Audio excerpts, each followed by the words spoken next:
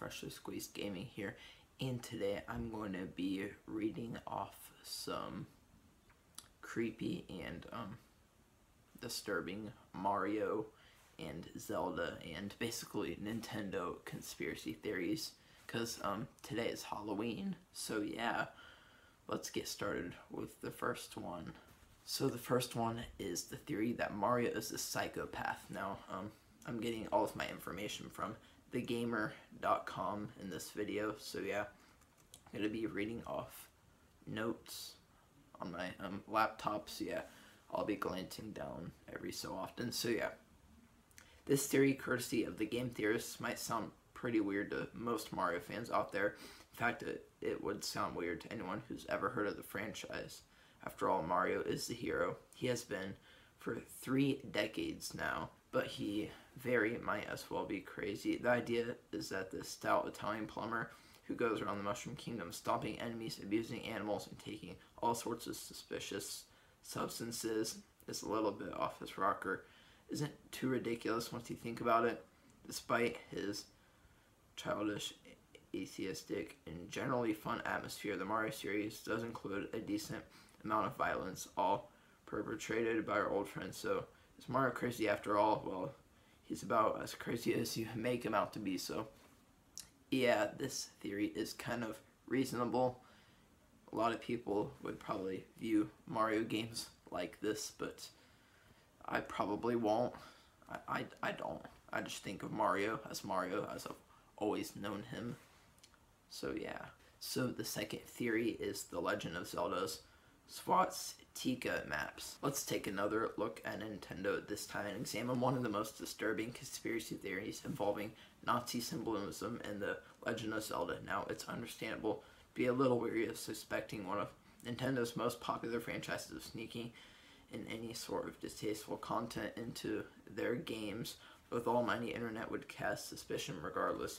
The game goes like this, the maps in the original Legend of Zelda game made up different images, one eagle, one a snake, another being a swastika, while the subsequent outrage following this discovery is understandable. The whole implementation of Nazi ideals is blowing the situation way out of proportion.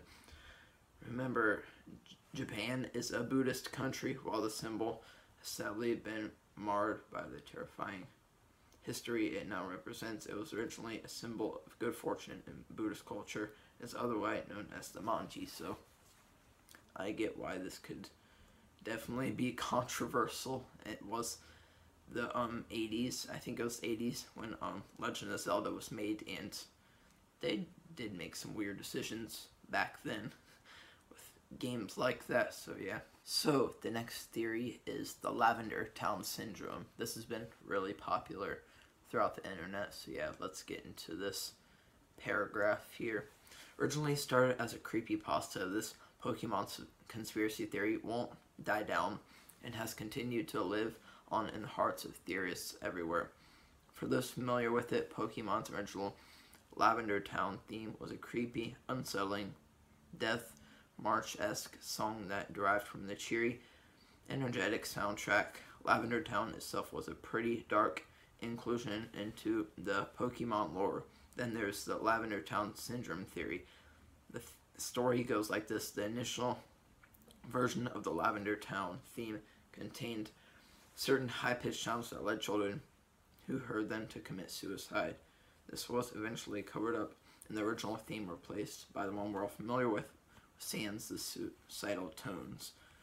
So yeah, that's basically that. It's been going around the internet for I don't know how long, but I think I've heard of it, but I've heard of the name, but never actually read into it like that. So yeah, the next theory is Luigi dies during Luigi's Mansion. Often overshadowed by his brother, Luigi got his shot at the spotlight in 2001's Luigi's Mansion with a definitively creepy atmosphere, often uncommon in other Mario games. Luigi's Mansion immediately set itself apart from other series entries.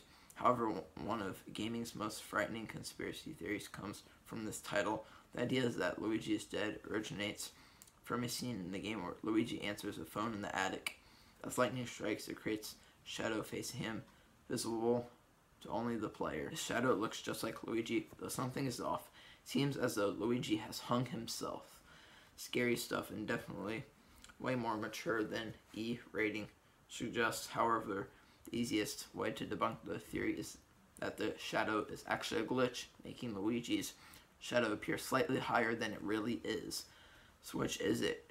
Standard glitch or terrifying secret message? You decide. It, it could be any way because I've seen this in movies and video games and shows. These weird things that they put in there. Like the um I heard of the Wizard of Oz theory, very similar to this. Where there's a person hanging themselves in the background.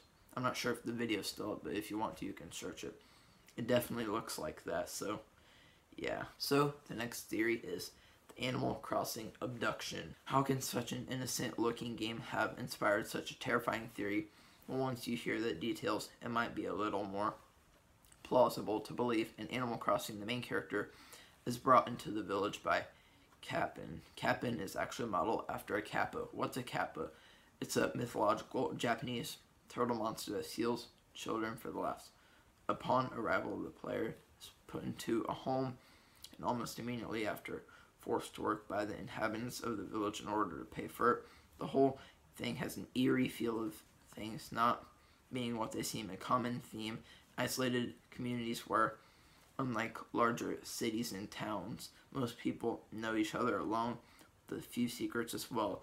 What's worse is the cramped nature of the player's home makes it seem like it's an actual prison, kidnapping, child labor, and confinement.